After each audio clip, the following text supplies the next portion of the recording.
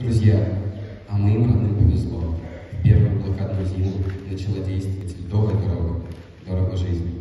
За это время были перевезены тысячи тонн продовольствия, эвакуированы многие жители Ленинграда. Среди них оказались и моя мама, и младший братишка.